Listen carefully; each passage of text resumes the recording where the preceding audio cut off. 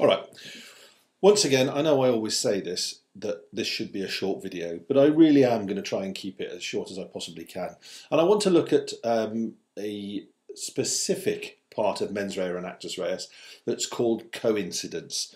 And what we mean by the term coincidence, when it exists, when it doesn't exist, and how the courts have overcome the problem where coincidence quite obviously doesn't exist, but there, there, there should be liability if that, all of that makes sense. So I'll try and do it as quickly as I possibly can. So it is a it's a way in which we look at bringing together the mens rea element and the actus reus element. And if you remember, we have our um, criminal liability equation: actus reus plus mens rea.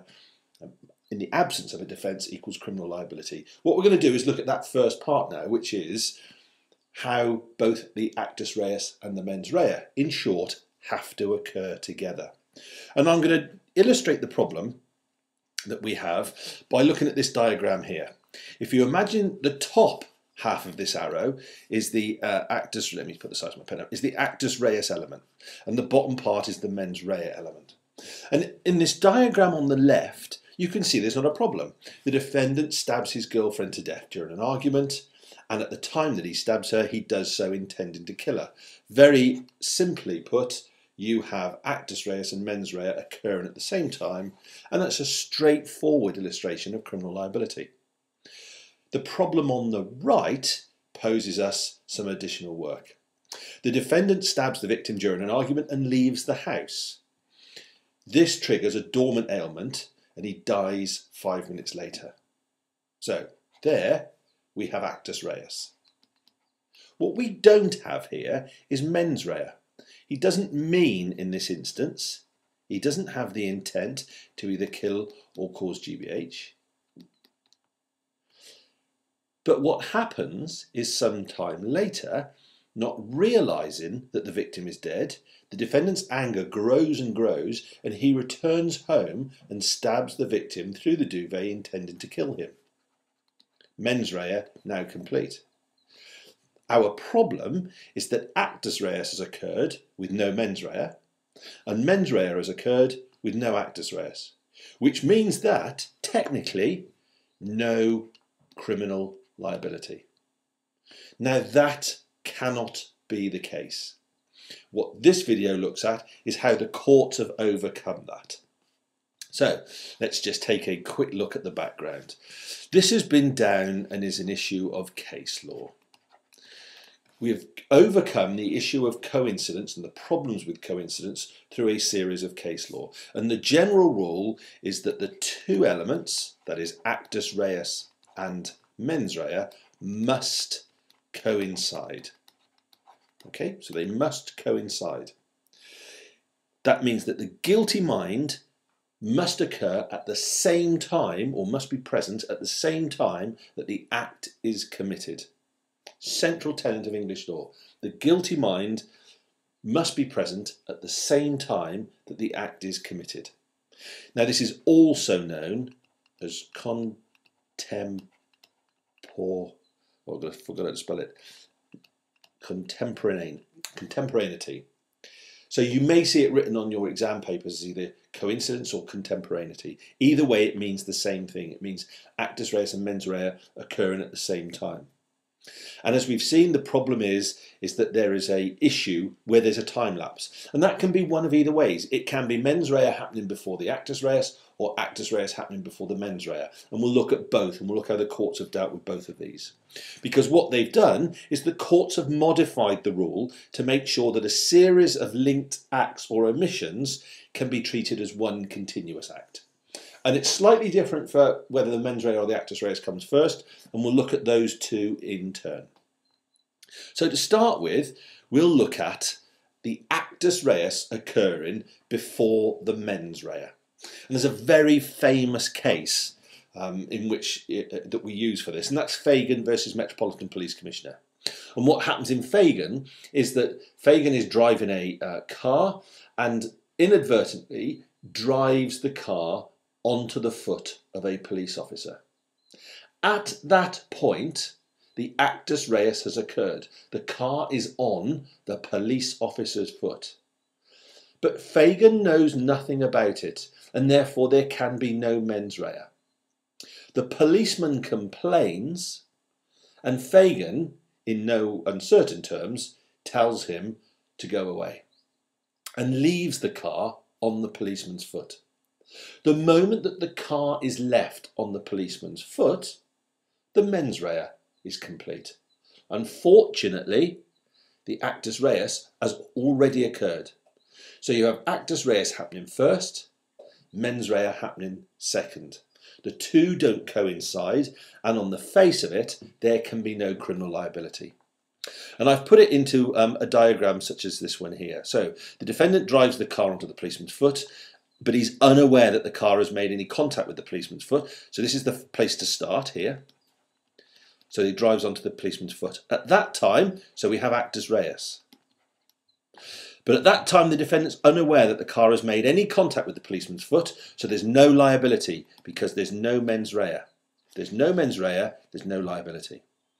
The defendant becomes aware of the situation but refuses to move. The mens rea arises at that point.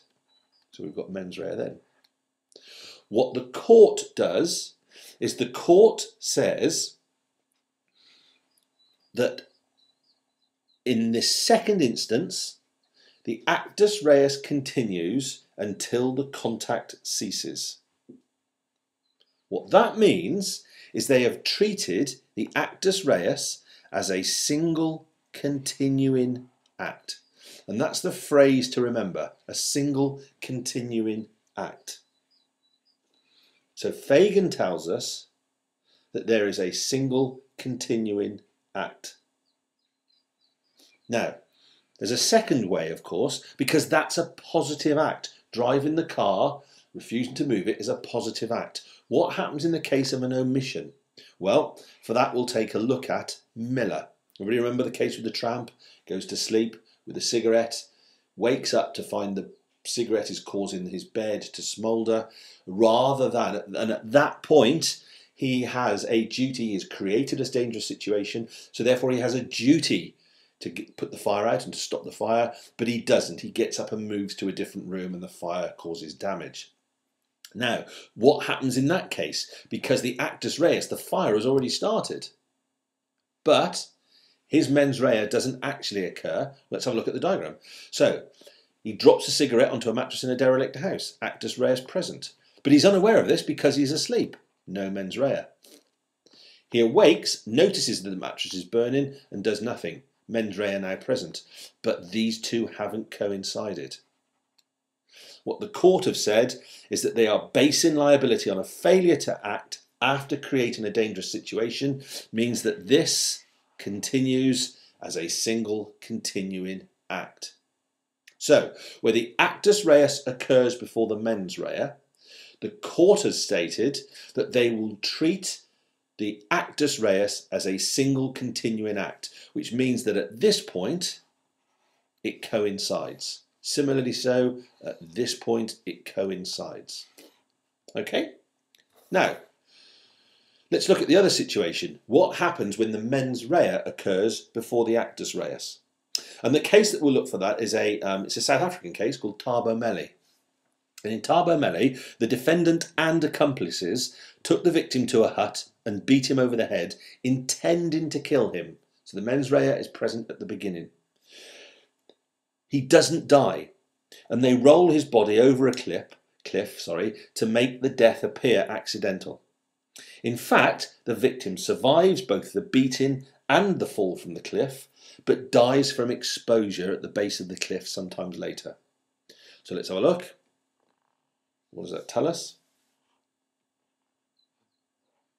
That tells us that, I know we've got a different um, timeline here. What that effectively tells us is that in the case of um, uh, the mens rea occurs here, the actus reus occurs here, and you've got this gap.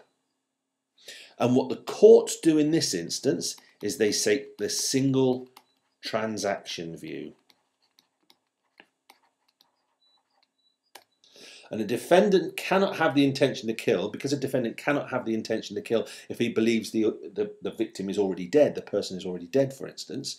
The courts decide that it all makes up one single transaction. So in Meli, the beating, the rolling off the cliff, the dying of exposure is all one single transaction. And therefore, when the actus reus actually occurs, the mens rea is already present because it's one. So the mens rea occurs at the very start because the single transaction occurs at the start with the beating. Let's have a look at a different case to illustrate this with our diagram. And we'll look at RV Church. And Church is a case in which the defendant took the victim, um, and the victim's a married woman, to a van for sexual purposes. He didn't do particularly well, and she took the mickey out of him. She mocked him. What and, and what he did, um, he well, she she slapped him, and the defendant then beat her. He knocked her unconscious. He was concerned that she had died, couldn't revive her, and threw her body into the river. Okay? Then she drowns. His mens rea occurs before she dies.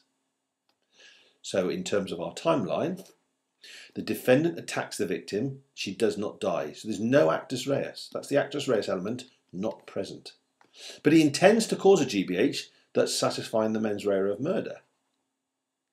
Under the single transactions for of course, then what happens? He throws her into the river to dispose of the body. As a result of that, the victim dries, drowns, actus reus present. So the mens rea is here, actus reus is here. The defendant did not intend to kill the victim at this point because he believed she was already dead. But it was held that he was liable as the whole incident was a series of events designed to cause death, a single transaction. So even though mens rea is here, even though the actus reus isn't present, this is one single transaction. So the mens rea occurs at the same time as the actus reus. Okay? So that's as simple as that. The problem is that when the two don't coincide, if the actus reus occurs before the mens rea, then the courts will take the single continuing act. If the mens rea occurs before the actus reus, then the courts take the single transaction view. Either way, the defendant is liable, even if there is a slight gap in the difference between mens rea and actus reus.